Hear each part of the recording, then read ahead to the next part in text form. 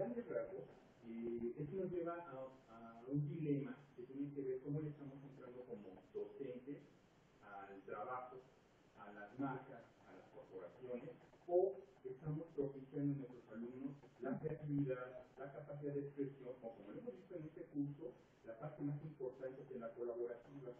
Y ahí la importancia de entender claramente que el software libre, más allá de, que son fierros para la creatividad y el trabajo, es también una posición frente a la que es una posición social, es una posición que tiene que ver con una cuestión cultural. Para ello quiero abrir, mostrarles un pequeño texto que, que aparece en la jornada incluí en, en que lo incluí en las notas que estoy usando para esta parte que me corresponde. En este pequeño texto de la jornada, un autor que fue secretario de gobierno en época de Rosemo Cárdenas dice por qué el país funciona como funciona, por qué eh, México siempre va a la par en el uso del software de lo que está haciendo Estados Unidos. Siempre estamos a la tarde en sus modas tecnológicas. Si vemos las cifras, por ejemplo, de Firefox, que hace rato fue mencionado como un navegador, en Europa el 51% de los usuarios usan Firefox, mientras el 40 o 30% usa Internet Explorer. En México se dispara en la cifra a un 85-90% de usuarios que prefieren Internet Explorer, tal como sucede en Estados Unidos. ¿Por qué lo estoy mencionando? Porque esta, la, la, perdón, ¿Por qué estoy mencionando estas cifras? Porque tienen que ver cómo desde la universidad estamos por reproduciendo el sistema cultural y también económico, es decir, las corporaciones, o cómo desde la universidad estamos creando alternativas al modelo. Parece innocuo hablar de software libre como si fuera una moda, pero en el fondo es una, conlleva una posición política, una posición ideológica y toda una visión de país también. Por eso quería mencionar este texto de esta autora en forma que, bueno, ahora que podemos entrar a nombres, pero se los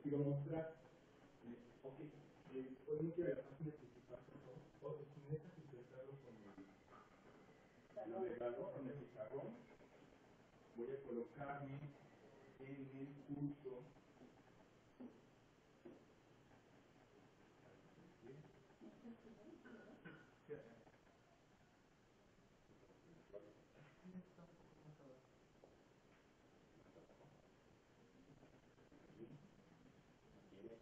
Ahí. Aulas virtuales para el docente que este curso que estamos tomando. Estamos respondiendo a uno de los objetivos que se nos planteó.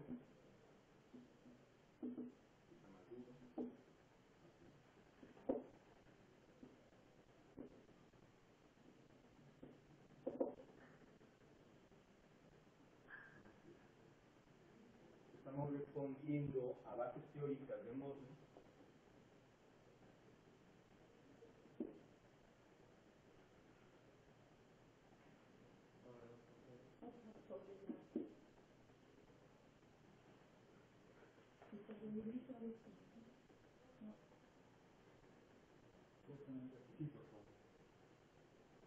Y a la pregunta ¿qué es software, software libre?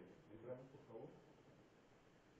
Hasta abajo incluimos como parte de la preparación una serie de lecturas y todavía hasta el fondo las estoy contando para que vean dónde están y ojalá las puedan leer.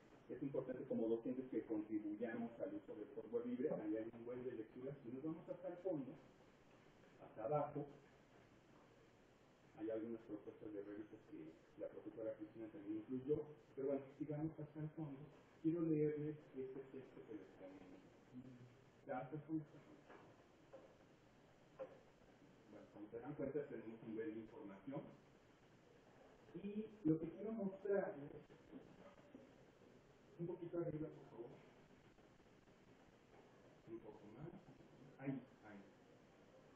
Este es precisamente este efecto de elementos. Sí, ya, yo estoy... ¿Cuál es? Porque yo lo. La jornada. Está más abajo.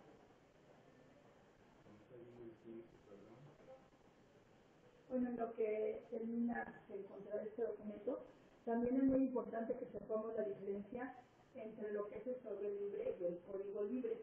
Eh, los del software libre dicen que ambos movimientos tienen las intenciones de desarrollar un software libre en cualquier ámbito, pero la diferencia, dicen ellos, que es una diferencia entre cómo se concibe ese trabajo.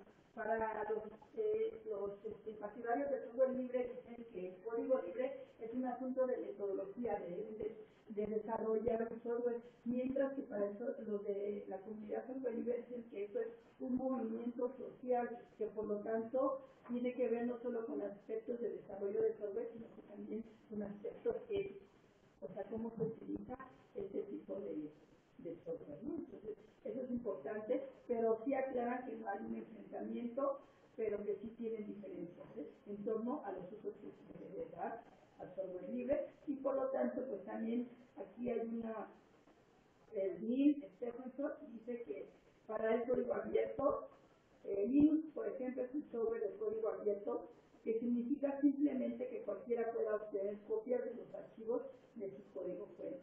Eso es lo que ellos plantean como código abierto, mientras que el software libre es darle la posibilidad al usuario de poder hacer un cambio, un ajuste, una contribución. Entonces, por eso dice que es un asunto social, porque es para todos sin necesidad nada más de plantear la copia, sino que lo que quieren es que los usuarios se vuelvan parte del movimiento texto, lo publicó José, José Agustino Quisquinquetti, y dentro de este texto afirma lo siguiente.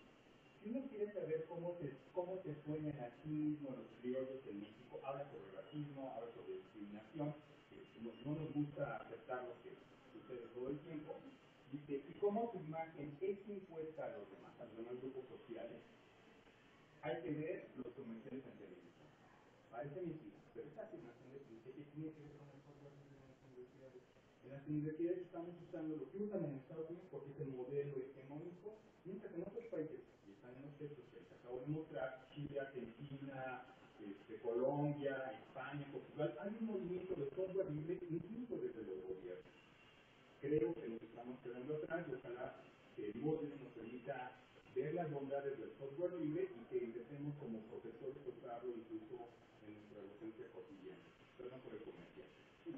Bueno, y por último, hay que comparar esta nota de Sinovetti, que es muy interesante y es muy real, nota también que puse en el foro de, de, de la posición que tiene del imperialismo, de no usar el software libre, de que si el software libre es una marca.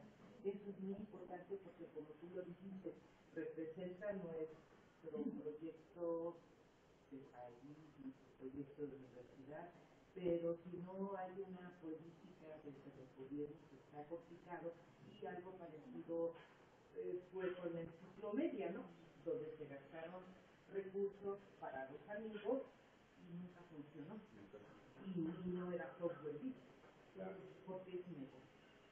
Y bueno, aquí está lo que les comentaba, por qué es libre, porque se puede ejecutar, estudiar, redistribuir, comercializar, mejorarlo, pero nunca restringirlo. ¿sí? Es, este, el software libre. Actualmente en muchos países se está utilizando, en lo que les decía, el proceso de aprendizaje colaborativo. Estas son algunas de las propuestas que están haciendo los de software libre, que se puede utilizar en diferentes, en diferentes soportes, en, con diferentes funcionamientos y todo el tipo de programas ejecutables que se puede dar, ¿no? Pero ante todo es un asunto de ética, ¿sí? Y bueno, la propuesta de, es, de este software libre en el aspecto de la, de la enseñanza-aprendizaje es que tiene que contribuir por su labor social a construir las sociedades del conocimiento, o sea que todos podemos acceder al conocimiento, ¿no? Y bueno, pues nada más era platicarles los aspectos relevantes del software libre. Si todavía hay tiempo de lo que nos terminamos, quiero mostrar un video de dos minutos gráfico que resume todo lo que platicamos en el curso. ¿Es posible? Entonces, vamos a mostrar. Está en los textos que incluimos de trabajo para que lo puedan consultar. El Power también lo pueden consultar este, en mi aula. Y lo, ya está subido también.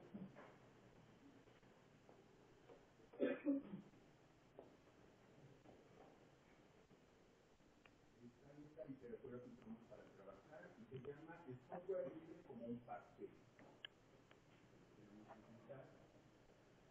Aquí está. Y con esto queremos concluir. Vamos a concluir. La diferencia principal entre el software principal entre el software libre y el software propietario no es ni su forma ni su funcionamiento. La diferencia principal en la mentalidad que hay detrás del software. El software es una idea, una creación intelectual, igual que la música, la literatura o una receta de cocina. El software propietario parece un apetitoso pastel dulce. Lo presentaron en un envoltorio bien cuidado y con un olor delicioso. Pero si queremos dar los ingredientes con los que está hecha, ¿dónde están los ingredientes? El pastel resulta muy apetitoso, pero no podemos ver sus ingredientes, que no inspira demasiada confianza. Además, eso puede suponer un problema. Las personas con necesidades especiales no sabrán que el producto se adapta a sus necesidades únicas. Decidimos hablar con la empresa de nuestro pastel de software propietario. Es necesario que publiquen la composición del pastel. El señor que nos atiende al teléfono no parece muy contento.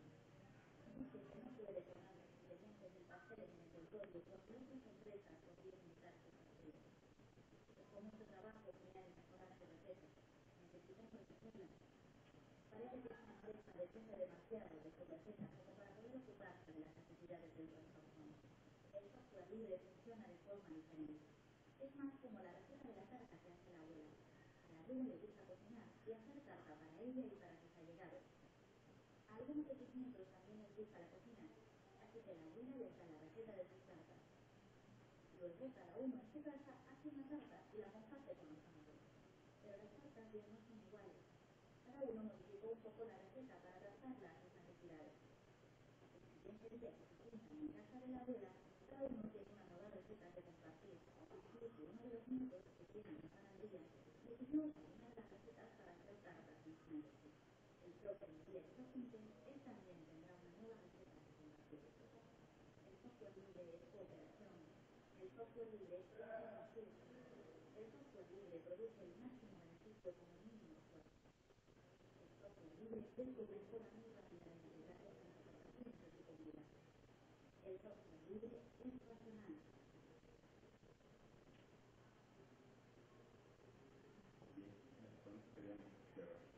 Este, no sé si tienen alguna pregunta, alguna duda. Si sí quedó claro el tema.